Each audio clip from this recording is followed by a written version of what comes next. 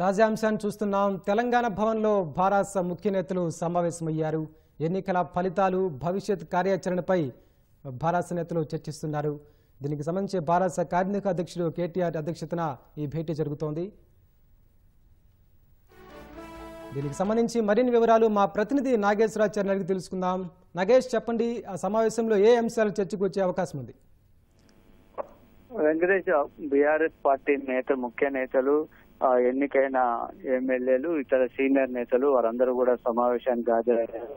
Party కార్యనిర్వాహక అధ్యక్షుడు KTR MLC కవిత ఇతర ముఖ్య నేతలందరూ కూడా సమావేశానికి హాజరయ్యారు. అయితే నిన్న ఫలితాలు వచ్చినప్పటి నుంచి కూడా ఎమ్మెల్యేలంతా కూడా కేటీఆర్కు ఫోన్లు చేయడంతో ఈ రోజు తెలంగాణ భవన్లో కలుద్దామని అందరికీ చెప్పారు. ఈ రోజు ఎన్నికైనటువంటి ఎమ్మెల్యేలతో పాటు ముఖ్య నేతలు అందరూ కూడా సమావేశానికి హాజరయ్యారు. అయితే ముఖ్యంగా ఆ ఫలితాలు అంటే నిరాశ అంటూ ఆశించిన మేరకు ఫలితాలు ఎందుకు రాలేదు? ఎక్కడెక్కడ ఏ ఏ అంశాలు ప్రభావితమయ్యాయి? ముఖ్యంగా ఆ కాంగ్రెస్కు అనుకూల అంశాలు ఏంటి? అదేవిధంగా బీఆర్ఎస్ వ్యతిరేక అంశాలు ఏంటి అనేది ఒక స్థూలంగా ప్రాథమికంగా కొంత చర్చిస్తున్నట్టుగా తెలుస్తుంది. అదేవిధంగా ఇక్కడ నుంచి భవిష్యత్ కార్యాచరణ ఏ విధంగా ఉండాలి? ముఖ్యంగా త్వరలోనే పార్లమెంట్ ఎన్నికలు కూడా ఉన్నందున ఈ నేపథ్యంలో బీఆర్ఎస్ పార్టీ ఏ విధంగా వ్యవహరించాలనే అంశాలపైన ఈరోజు ప్రాథమికంగా చర్చకు వచ్చే అవకాశం ఉంది. అయితే ఇది కేవలం ఒక లాంఛనప్రాయమైన సమావేశం మాత్రమేనని పార్టీ నేతలు చెప్తున్నారు. త్వరలోనే పార్టీ అధినేత కేసీఆర్ అధ్యక్షతన సమావేశాలు జరగనున్నాయి. అవసరమైతే నియోజకవర్గాల వారిగా కూడా సమావేశాలు నిర్వహించి దీన్ని పూర్తి స్థాయిగా లోతుగా విశ్లేషించి సమీక్షించి ఏం జరిగిందనే విషయాలను చాలా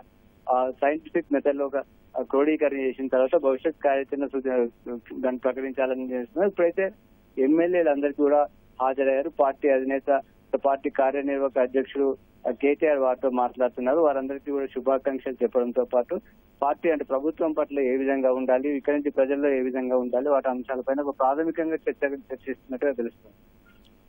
ధన్యవాదాలు నాగేశ్వరాచారి.